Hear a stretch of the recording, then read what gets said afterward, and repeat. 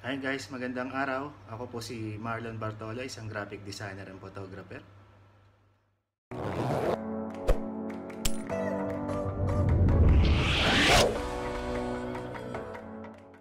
So ngayon po, um, dito lang po ako sa bahay. So magse-set up lang po ako ng mga kailangang gamitin. Tulad po nitong uh, speed light and uh, softbox. Then set up ko po itong uh, uh, reflector.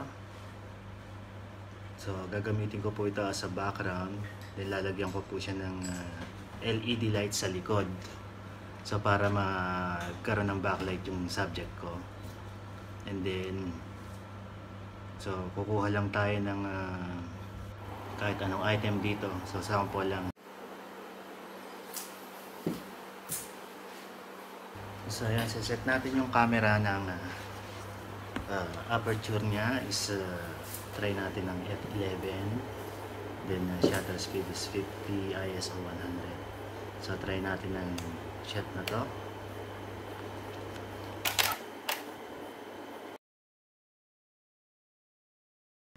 Then um, kung mapapansin nyo meron lang siyang uh, shadow sa gilid.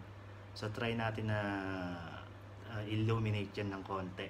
So para mas uh, maganda yung dating niya. So para ma-illuminate siya so gagamit tayo ng uh, isang reflector. So para ma-bounce yung ilaw yung flash para ma-bounce doon sa sa kabilang side niya.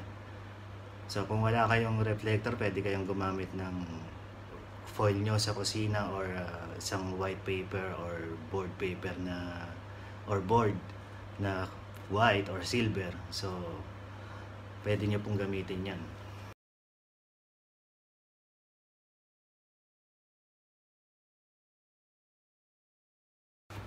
So guys, ayun ang final product na ginawa ko.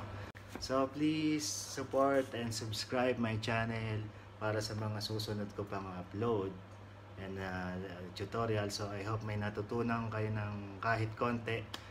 So see you guys. See you next time. Bye.